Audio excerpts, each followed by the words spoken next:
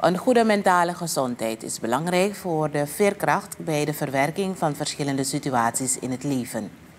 Een van de belangrijkste boodschappen van klinisch psycholoog Mirjam Plein tijdens de sessie Mental Health Matters. De avond werd georganiseerd door de Junior Chamber International Paramaribo GCI en moest jongeren informeren over verschillende mentale problemen. Um, je ziet dat in de Surinaamse samenleving men vaak dingen door elkaar haalt. Je hoort bijvoorbeeld termen als depressie, termen als angst, termen als schizofrenie. Toch? En um, we gaan dus behandelen wat het verschil is tussen klachtencellen, bijvoorbeeld depressieve klachten en depressieve stoornis. En um, hoe in principe het beloop ook gaat. Dus in het leven maken we gebeurtenissen mee, problemen, kunnen we in principe niets eraan doen. Maar de manier hoe onze mentale gezondheid opgebouwd is, bepaalt dus als we mentale klachten gaan ontwikkelen of niet.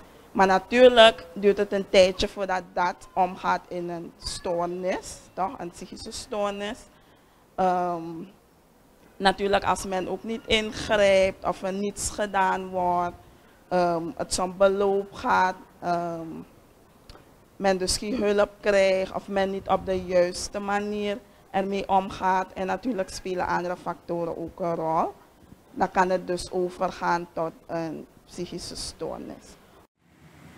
De psycholoog stelt dat het belangrijk is te ontdekken wat effectieve verwerkingsmechanismen zijn bij traumatische gebeurtenissen. Een van ze is bijvoorbeeld dat we letten op onze voeding, dat we letten op onze slaap, dat we sociale contacten onderhouden um, en nog andere factoren. En ook wat heel belangrijk is, is de manier hoe we dus omgaan met problemen met gebeurtenissen. Omdat dat vaak um, automatisch is, dus de meeste mensen hebben dat vaak genoeg niet door. Dus ze weten vaak genoeg niet um, dat hun manier van handelen of de manier hoe ze dus met iets omgaan, dat het anders kan of dat de manier hoe ze het doen, dat dat juist leidt tot emotionele klachten bijvoorbeeld. Dus dat gaan we dus uitgebreid behandelen en welke manieren ze dus kunnen gebruiken um, om dus anders met zaken om te gaan, om zoveel mogelijk mentale problemen te voorkomen. Klein geeft mee dat een groot deel van onze mentale gesteldheid wordt bepaald door de manier waarop we omgaan met situaties.